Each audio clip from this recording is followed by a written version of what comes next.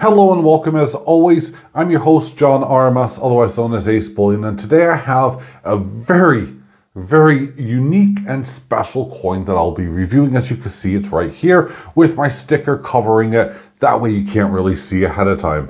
Um, but before I begin, please, as always, check out the links down below because Martin, the silver trader, sent me in this coin to review, give my honest opinion, and give you some information about this coin. So you can find this link under this video heading along with the Precious Metal Forum and of course my own personal website, Ace Bullion. So please take a minute after the video, have a look. If you're not subscribed, subscribe, hit that bell, and of course leave a comment and a like. Here we go.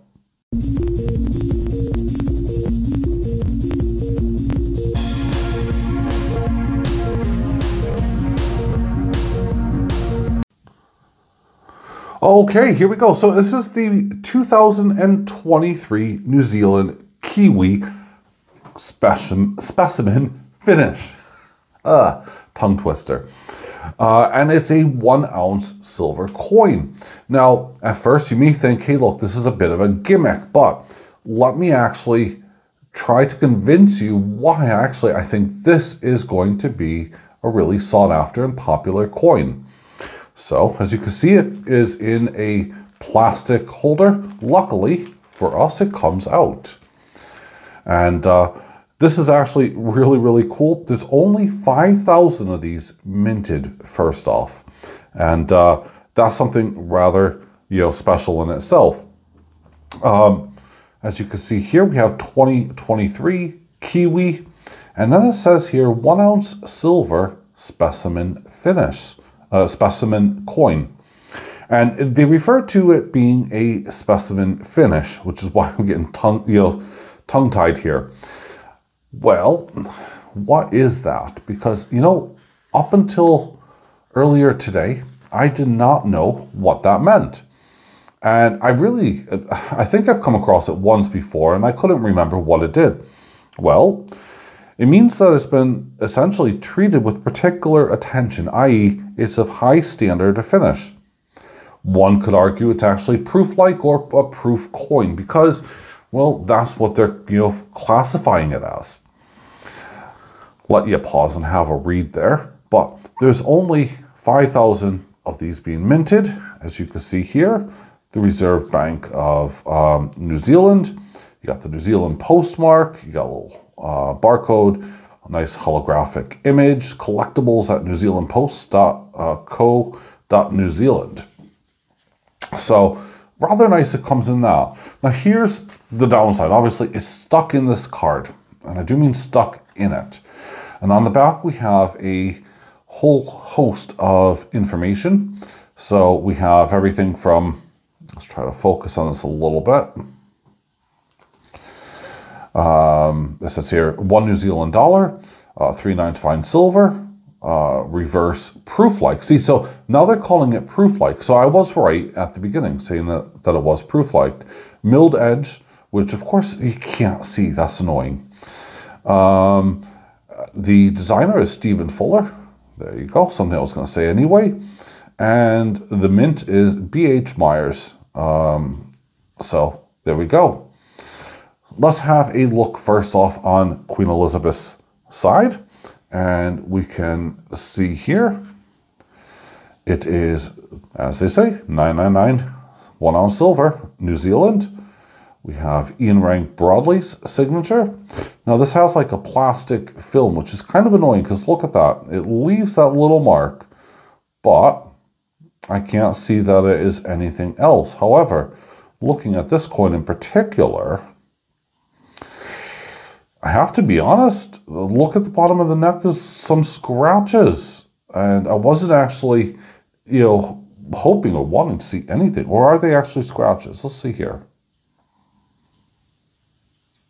No, sadly, they actually are scratches on the queen's neck. I would have thought that perhaps it wasn't going to be, but no, it is. There's some tiny micro scratches.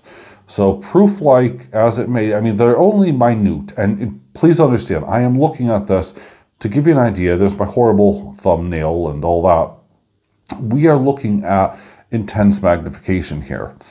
Um, so, yeah, they couldn't really, and this is down to the fact that this kind of white part is down to the fact that it's just under these covers, I think.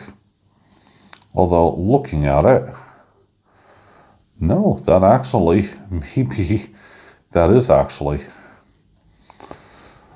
Ugh. Okay, right. Well, I was beginning to really love this coin until I got to have a look at the queen side, and uh, I'm a little bit disappointed in that actually. Uh, that caught me a bit off guard. You can, if you do really want to, rip apart the cardboard, obviously, because uh, it's only sandwiched between but you can't pull it out. It will not allow you to pull it out and go from there. Now here is the denomination. We have one dollar, um, and it's the Tokoeka Southern Brown Kiwi. And I'm not going to try to pronounce that other part that says before Australia. So there we go. Uh, see the, no, we can actually just about see the milled edge. So yeah, there you go you can. It is raised just enough to do so. So this is a cute little kiwi foraging, looking for food. And actually, I, you know, I always love these things because I think they've been stuck in a evolutionary stage. And, uh, you know, I think the, uh, the depiction, my goodness, I can't talk today, is amazing. Let's see here, look at the detail on it. It is, yeah, it is absolutely stunning.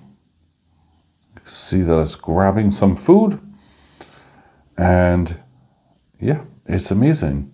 Now, as I said, this is only, uh, this only has a mintage of 5,000 and is one that, I'm trying to see if there's any rays on it. Yeah, there is. There's a, a slight lift on the coin.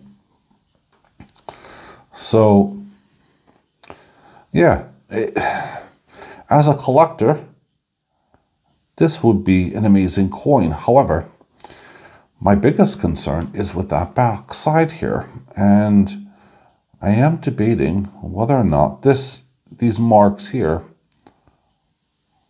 are actually on there on the coin or are just a reflection of the the shadow. Yeah, see the micro scratches. That's fine. I, you know, I get that. But sadly, that really is on the coin. So even though they've been treated with respect, with love, and everything else, it's still just bullion. It looks like it's been something that's been done when they've sealed it because you can tell there's some circular lines going around it here. So someone's messed up somewhere. Perhaps it could just be glue from this plastic and it is like a film going around. But that kind of detracts and spoils away from this absolute beautiful image on the front. Now, ah, I'm unsure what to do. Let me know in the comments down below what your thoughts and opinions are because I'm kind of stuck on this one. One, it probably would never leave its case anyway. So it obviously would just stay within a wrapping and that would be it. But for something that is, you know, is proof-like and it comes with those marks, that kind of puts me off almost immediately, despite this being an amazingly beautiful coin.